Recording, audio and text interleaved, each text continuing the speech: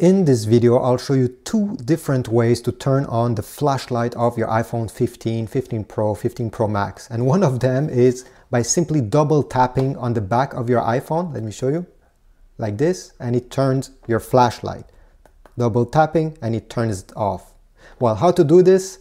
Go in settings, then go under accessibility, choose that. Then go and choose touch. Go down, down, until you see back tap. Tap on it. Then choose double tap, the first one. Click on it. And then in this list over here, you should see flashlight. Go ahead and tap flashlight.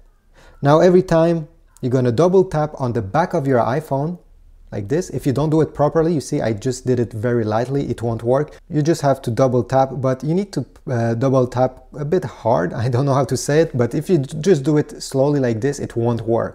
You really need a, a firm double tap to make it light up. And you just need to do the same thing to turn it off. Another way, and I guess the easiest way, is to drag down from the top right corner until you see this icon, tap on it, and it will tap and it, so it and it will turn on the flashlight. If you want to adjust the flashlight, just keep press on that icon and you'll get many different levels. Whoops, let me do it again. Many different brightness level for, for your flashlight. Okay, and to turn it off, well, just tap this icon back again and that's all. So these are the two ways you can actually use the flashlight of your iPhone 15, 15 Pro, 15 Pro Max. If you have other tricks regarding the flashlight of your iPhone, please leave them down below in the comment section. If not, just leave a like, say thank you, and I will see you in the next one. Thanks for watching.